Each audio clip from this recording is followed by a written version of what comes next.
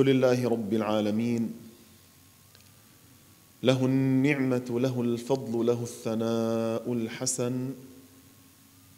صلى الله وسلم على سيدنا محمد الأمين وعلى آله وأصحابه الطيبين الطاهرين. ومن مشى على دربهم إلى يوم الدين. اللهم علمنا ما جهلنا وذكرنا ما نسينا وزدنا علما ونعوذ بك ربنا من حال أهل النيران نسأل الله سبحانه وتعالى أن يرزقنا النيات الحسنة I start in the name of Allah, the Merciful.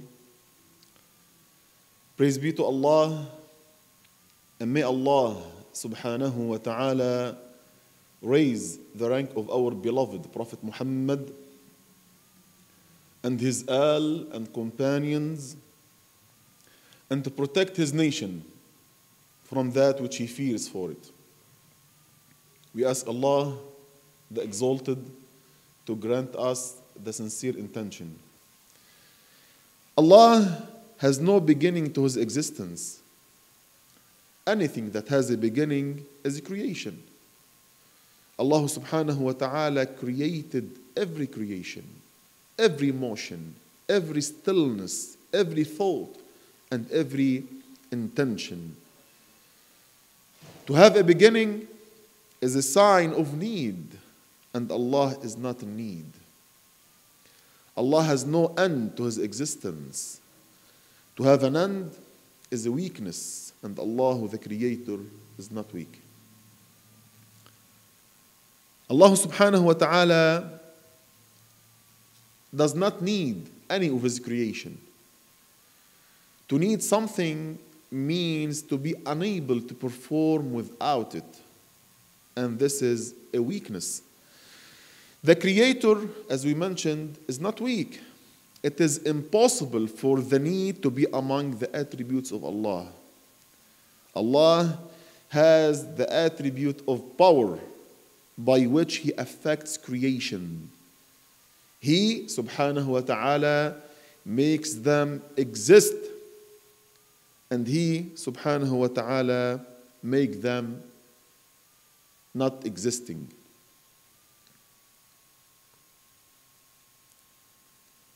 Allah subhanahu wa ta'ala has the attribute of will. Whatever Allah subhanahu wa ta'ala will to be shall be, and whatever Allah did not will to be shall not be. Both good and evil happen according to God's will. Allah subhanahu wa ta'ala has the attribute of knowledge. Allah knows everything what has happened, what is happening, and what will happen. Allah subhanahu wa ta'ala hears all hearable things and sees all seeable things without organs and without limitations. Man needs ears and air to transfer sound in order to hear, and he needs light to see.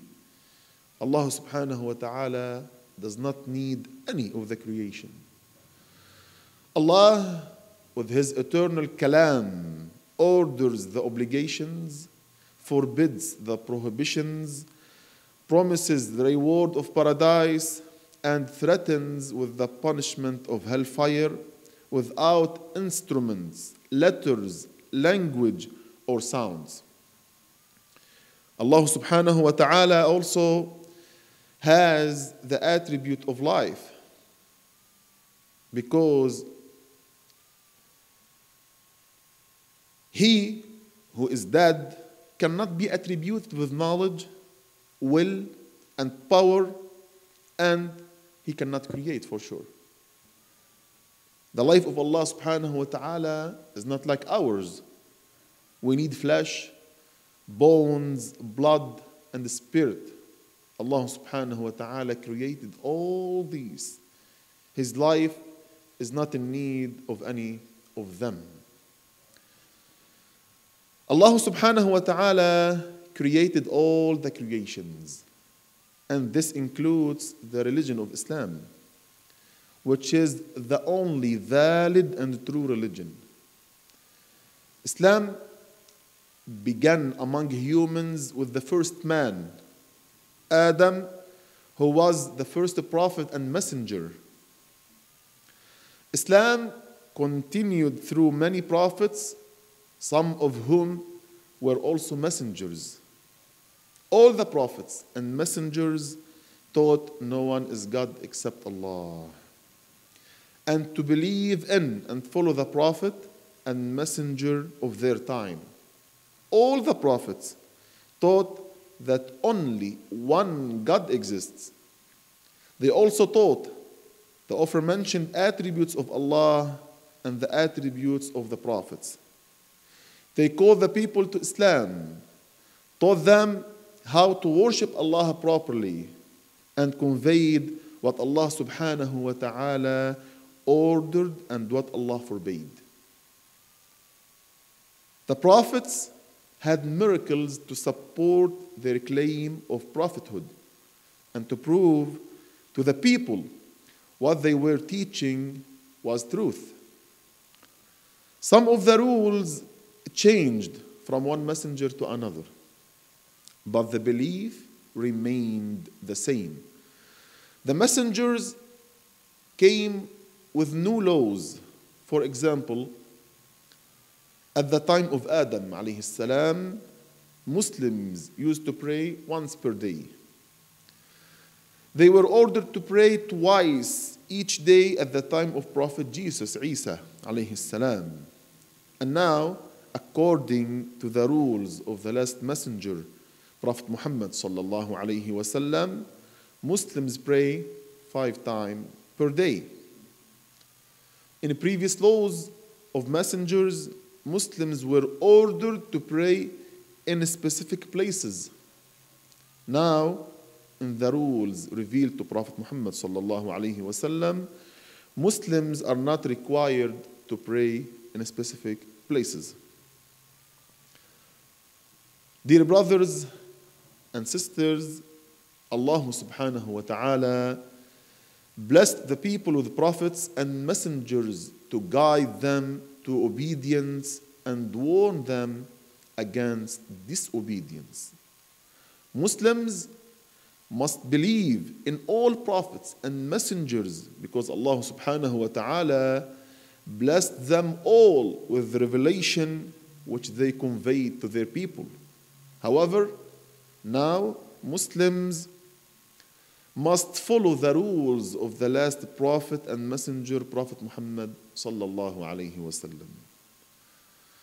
Allah subhanahu wa ta'ala ordered the messengers to convey the laws, and they did.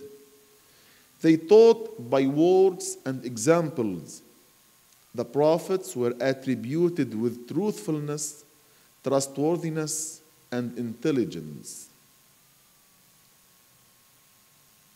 Consequently, lying, dishonesty, stupidity were impossible to be among their attributes. They were also attributed with impeccability. They never commit blasphemy, enormous sins, such as drinking alcohol and unjust killing, or abject, small sins such as stealing one grape. Prophet Muhammad wasallam taught his companions, and those companions taught their followers, and so on until the knowledge of Islam reached the Muslims of the present day. The beliefs and teachings were passed from one trustworthy Muslim to another with a chain of reliable relators back to the Prophet, peace be upon him. In Islam, dear brothers, it is enormous sin to judge without knowledge. If a Muslim does not know an answer to an Islamic inquiry, then one must not give one's opinion or what one thinks the answer may be. Instead, one seeks the answer from someone more knowledgeable in the religion who attained the knowledge in the aforementioned manner. And Allah knows best.